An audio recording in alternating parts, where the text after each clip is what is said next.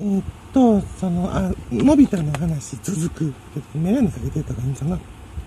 実はうちメガネ苦手でね。小学校の時からかけてるけど、いまいちメガネな。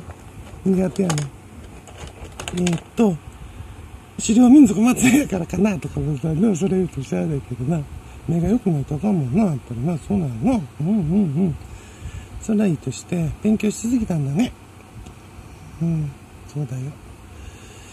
えー、のび太やったらね、どういう、どの程度そのドラえもんの道具を台無しにするかっていうのもっと考えてほしいね、みんな。例えばスマホやったらどう？みんなやったらどういう台無しの仕方する？パンチとかする程度やろ？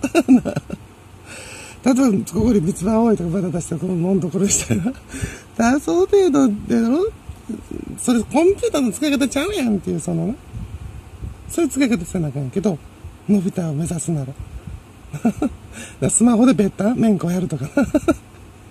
だかカードゲームのスマスマホ、全員のスマホ、ジャインがみんなのスマホを取り上げて、で、そのカードゲームするみたいな。並べて。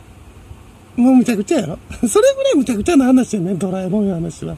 例えば、スマホをのび家のそのもう、門中ののびっていうその表札外して、のび太のスマホをそこにはめ込んで。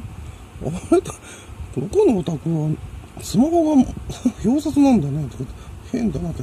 ところがそれ全部撮影してて、中で全部のび太が人形にしてるとかな。で、のび太の軍隊作ってるみたいな。それぐらい悲惨な使い方、もう絶対そんな使い方したらあかんないいう使い方するから。コンピューターの趣旨逸脱してないとあかんの。ネットビジネスじゃあかんのよ。でしょ？